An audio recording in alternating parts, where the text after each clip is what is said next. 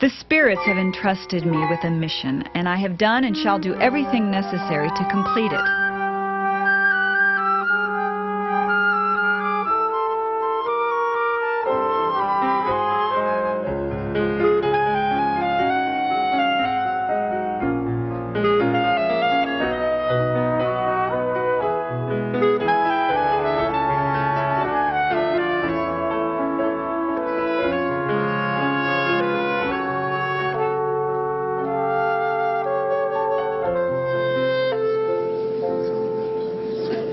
On May 9, 1872, a small crowd of women fighting for equal rights gathered for the National Women's Suffrage Convention at Steinway Hall in New York City. Elizabeth Cady Stanton resigned as president, and Susan B. Anthony was elected to replace her. Victoria Woodhull entered the hall. All eyes were on her as she gracefully approached the stage.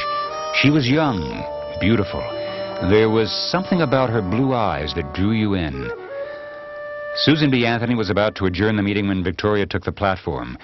She wanted to invite the National Women's Suffrage Association to join the Equal Rights Party to nominate candidates for President and Vice President of the United States. The Equal Rights Party was comprised of both men and women. Susan B. Anthony flatly refused. If she were influenced by women's spirits, I might consent. But she is wholly owned and dominated by men's spirits, and I spurn the control of the whole lot of them. Susan B. Anthony. The truth was that nobody owned or dominated Victoria Woodhull. Ignoring Susan B. Anthony, Victoria took the platform and carried the motion overwhelmingly. Everyone was invited to join the Equal Rights Party the following morning at Apollo Hall.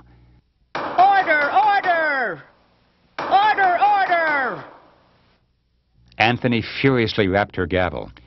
This didn't bother Victoria, who continued to speak. In a huff, Anthony stormed off and demanded the janitor to turn off the gas lights. From this convention will go forth a tide of revolution that shall sweep over the whole... Victoria, still talking, was left in the dark. The next day, over 600 delegates met at Apollo Hall to join Victoria Woodhull and the Equal Rights Party. These people represented radical organizations throughout the country. Some were communists, spiritualists, free lovers, and suffragists. This was an important day for them. They were going to nominate candidates for President and Vice President of the United States.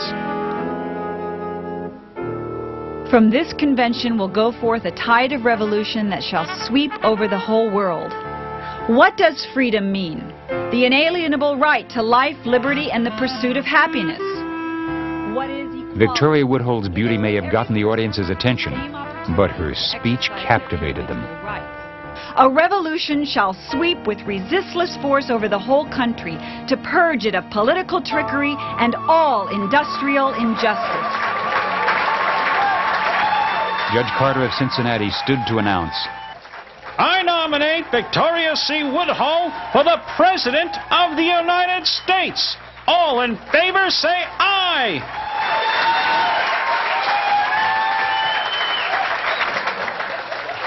I thank you from the bottom of my soul for the honor you conferred upon me. I have stood by you so long, sometimes meriting your applause and sometimes encountering your rebuffs, but I have always been faithful to my principles.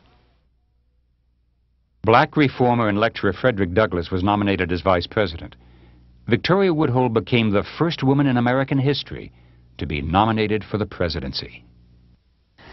I think about uh, 25 or 30 years ago, I heard about this amazing woman who had run for president on a free love ticket with a freed slave as her vice president. And I was just captivated by even the smallest amount of information.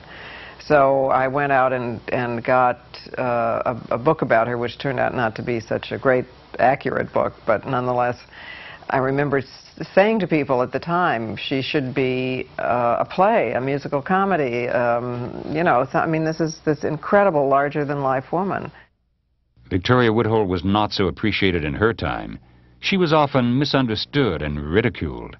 Among the mildest of names, they called her Ms.